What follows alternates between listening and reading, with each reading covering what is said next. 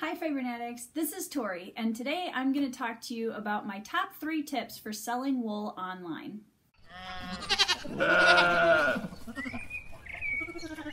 so it doesn't matter if you're a wool producer like a shepherd or a farmer, it doesn't matter if you're a fiber artist, it doesn't matter if you're a wool merchant. All of these tips that I'm going to give you today absolutely apply to you. Tip number one, photos matter. Here's an example of a not great photo for selling wool. Here's an example of a good photo for selling wool.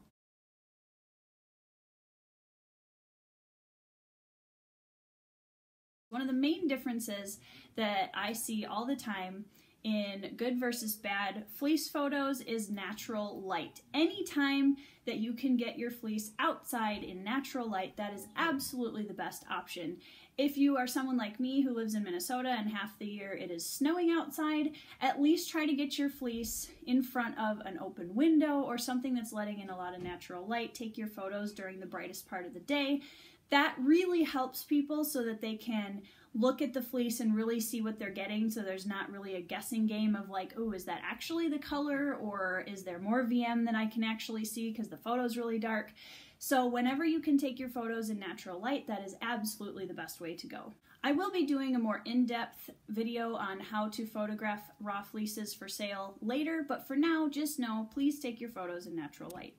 Tip number two, don't hide the details. It can be really, really tempting sometimes to look at your fleece and look at the level of VM in your fleece and say, okay, I know this is probably a four, maybe a five, but I'm just gonna say that it's a three because I don't wanna scare anybody off from buying it.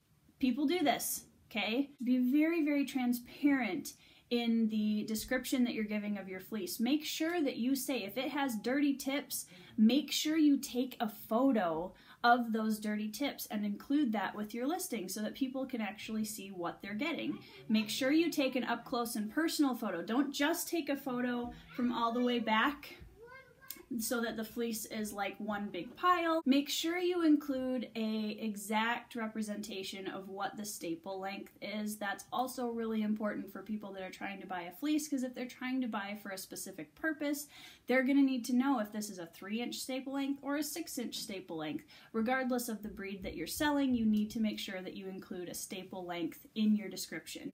When you go to list your fleece, and you've weighed your fleece so you can tell your buyers how heavy it is and how many pounds are included, underestimate. If you weigh your fleece and it says like seven pounds, 10 ounces, make sure what I always do is I will say seven pounds, eight ounces on the description because I don't want somebody to get my fleece, have a different scale than me, and be like, oh my gosh, this is way off. I do this especially if you're selling smaller amounts of fleece. This is very important. Say you buy a pound of fiber and you get it and you open the box and you put it in your scale and it only weighs like 13 ounces that is a huge, huge no no. So make sure that you are overly generous in the amount of fleece that you're sending to your buyer. Whenever I have somebody that buys a pound of fiber from me, I always try to include an extra at least one to three ounces just to kind of help make sure